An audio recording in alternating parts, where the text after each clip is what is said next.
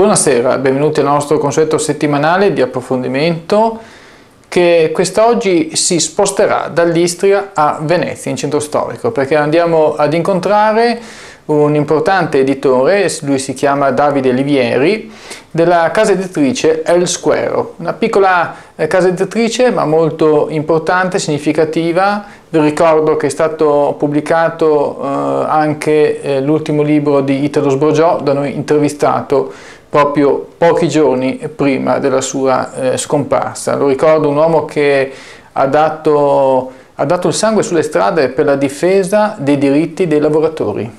Bene, noi abbiamo voluto incontrare il suo editore, Davide Livieri, dunque il nostro servizio da Venezia. Noi ci vediamo al termine.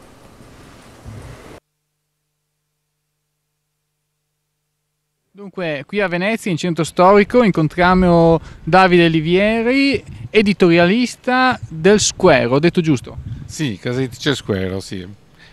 Ecco, una uh, casa editrice eh, piccolina qui a Venezia. Sì, eh, noi siamo a Venezia, ormai il prossimo anno faremo la festa dei dieci anni, perché è dieci anni che siamo attivi, più che mai negli ultimi anni ci siamo avuto modo di dedicarci di più alla casa editrice per farla crescere e diciamo che eh, abbiamo avuto delle buone soddisfazioni anche recentemente. Ecco, com'è nata l'idea di creare questa casa editrice? Ma eh, nasce dall'esigenza di voler eh, comunicare eh, dei valori in cui si crede, e cioè crede so, soprattutto che la cultura quello può fare una piccola casa editrice sia importante oggi perché sia un valore da recuperare e i libri, io dico sempre, fanno stare le persone eh, eh, meglio di quando non li hanno letti no? e quindi poter migliorare le persone, dare un contributo cercando delle qualità, infatti io dico sempre siamo una piccola casa editrice con grandi libri, perché devo dire sono molto orgogliosi degli autori che ci propongono di pubblicare i loro libri, perché eh, ci capita spesso per fortuna di avere delle buone proposte, anzi delle ottime proposte e quindi quello che pubblichiamo è qualcosa in cui crediamo che possa far star bene le persone. Ecco, tra altre cose io ricordo un libro di una persona che abbiamo intervistato, eh, potremmo dire anche recentemente, poi purtroppo ci ha, ci ha lasciati tutti, eh, di Italo Sborgiò. Beh, Italo Sborgiò, sì, il suo libro è stato importante perché è un libro che comunque, come appunto dicevo parecchi nostri libri cercano di essere dei libri che restano, e cioè che siano delle memorie, che siano delle testimonianze. Quella di Italo senz'altro è una importante testimonianza che ci fa capire effettivamente come la società non solo era, ma come potrebbe essere migliore se si seguissero alcune regole, poche regole, nulla di così perentorio, però che possano veramente far crescere le persone in modo, in modo più equilibrato e quindi anche che lo sviluppo generale un po' di tutti sia generale, lo sviluppo anche di ognuno. Se si parte dal punto di vista che qualcosa, e questo era uno dei, dei punti del libro di Italo Sbroggiò, qualcosa che possa migliorare un po' tutti, migliora anche noi stessi. Se pensiamo invece di pensare solo a migliorare noi stessi, difficile che possiamo migliorare, perché solo, solo quello che ci, se ci circonda, quello che ci circonda migliora, allora tutto migliora. Se pensiamo che da soli potercela fare, penso che la società attuale ha dimostrato che questo non funziona. Insomma. Ecco, so che a te Italo Sbroglio ti ha colpito abbastanza. Ecco, eh, Cosa, cosa ti ha dato eh, questa conoscenza personalmente?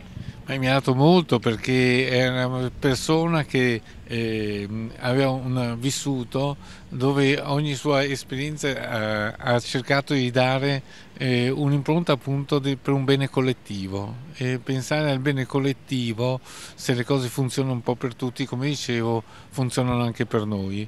Questo era uno dei suoi messaggi forti e che secondo me andrebbero recuperati. In una società troppo individualista ecco. Ecco, infatti c'è questo appiattimento dagli anni 70 ad oggi, una società che si è come eh, appiattita, è calato forse il grado eh, eh, culturale delle persone, cioè a livello culturale, forse questo è dovuto anche ai mass media questa, questi carmati di media, eh, dire, network con una programmazione eh, abbastanza bassa di livello culturale, perché questo lo possiamo vedere eh, tutti noi, non è una novità quello che sto dicendo. Ecco, cosa ne pensi di questa situazione che si è venuta a creare in Italia? Sì, in Italia purtroppo e non solo, ma in effetti il problema è proprio questo, che alla fin fine eh, la possibilità di conoscere tutto, no? perché adesso anche con i media sembra di poter conoscere tutto, di poter arrivare ovunque, di avere una, da questa illusione di poter avere un appagamento nel fatto di potersi relazionare in, eh, con tutto quello che eh, ci circonda, ma la qualità della relazione, la qualità della conoscenza, questo non viene mai messo in evidenza. Relazionarsi con tutto il mondo è una cosa meravigliosa, non è questione dei mezzi. C'era Rossellini che vedeva nella televisione il futuro della possibilità di una società migliore, ma perché effettivamente il mezzo, il mezzo è un ottimo mezzo. È come, come, viene usato, è questo il problema, ma non è che bisogna demonizzare il mezzo, bisogna demonizzare come è stato usato e come viene usato perché creare terrore e tensione eh, ci costringe poi ad appellarci a qualcuno e non prenderci mai responsabilità. E questo è comodo. Invece se ognuno di noi si prende un po' di responsabilità, credo che possa essere un buon messaggio perché è appunto quello che viene un po' individuato in questa, in questa, società è proprio questo, il fatto che tu puoi dire tutto, puoi essere dappertutto, ma la qualità dove sta? Non sta in questo, nella quantità. È la confusione tra quantità e qualità. E quindi per far fronte ad una situazione del genere benvengano tutti i canali alternativi, ecco, quindi anche le iniziative culturali, anche il lavoro che stai facendo tu con la casa editrice Squero. Sì, infatti nel nostro piccolo cerchiamo di fare questo. Abbiamo avuto delle soddisfazioni anche recenti perché siamo stati al Salone di Francoforte dove appunto ci sono 7.000 espositori e 350.000 persone in due giorni, una cosa enorme. Però quello che abbiamo cercato lì, come cerchiamo di fare, è costruire relazioni di qualità è quello, che, è quello che un po' tutto questo mondo che ci appartiene, dei vari social o altro, vanno benissimo, ma cerchiamo sempre la qualità, non solo la quantità. Avere eh, un milione di amici o un milione e mezzo di eh, visualizzazione eh, è una cosa meravigliosa, ma chi ci vede che cosa pensa di quello che noi diamo, quello che noi offriamo, che, che qualità di relazione c'è, non è tanto la quantità e questo è un po' come ripeto il problema. Ecco, per concludere ricordiamo alcuni eh, lavori importanti che ha fatto El Square, quali argomenti avete trattato?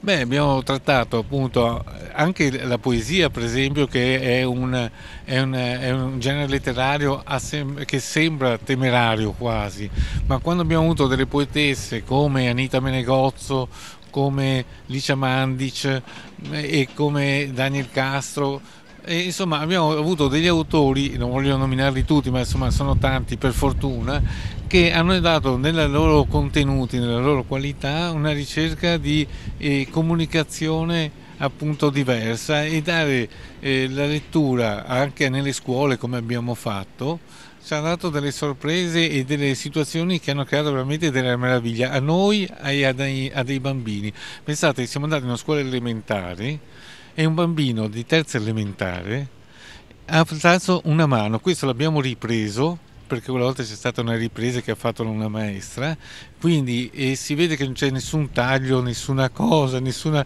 proprio una cosa spontanea. Questo bambino, terza elementare, alza la mano e dice ma scusate, ma la poesia la leggono anche gli, gli uomini di affari?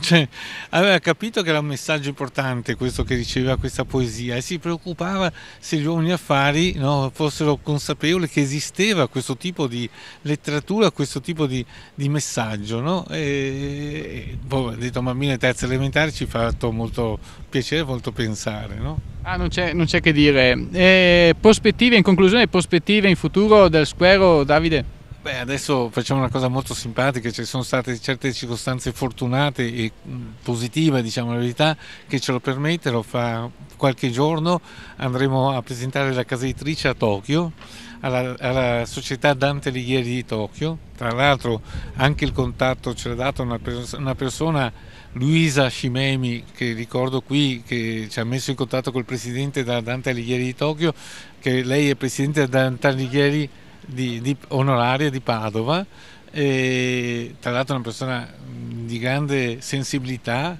anche molto curiosa perché è una persona comunque che è discendente di Dante Alighieri, quindi insomma è una persona da, da una storia lunga e, e, una persona di grande cultura.